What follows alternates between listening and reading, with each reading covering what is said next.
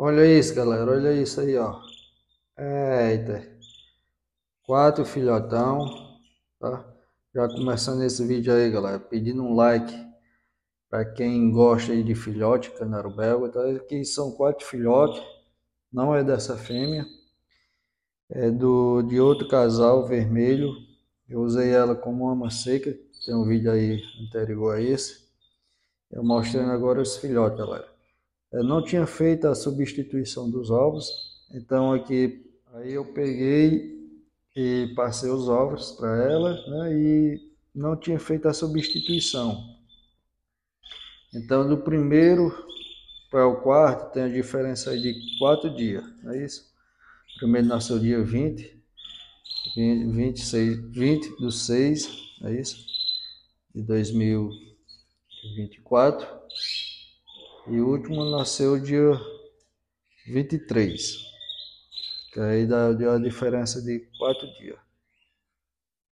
Não é isso? É, na última nasceu dia 24. Né? Primeiro dia 20, no último dia 24. Mas é isso, galera. Mostrando aqui a fêmeazinha tratando aqui bem aqui dos quatro. Tá?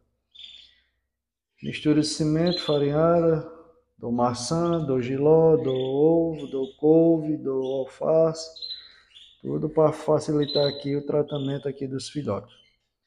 Beleza? Já peço aí que deixa o like, o vídeo, aí os filhotes estão aqui, ó. Quatro filhotes de vermelho intenso. É, o, a, a, questão do pigmento deles, galera, não tá ficando, é, como se diz assim, 100% a, a pigmentação porque eu dou também a mistura de cimento. Aliás, a base da alimentação é a mistura de semente.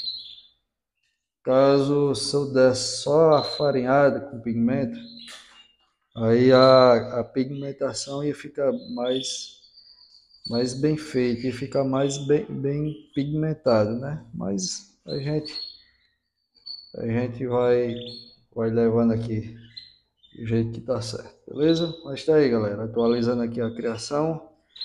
Essa fêmeazinha fez a segunda postura, né, de ovo de fogo, para não perder a postura dela.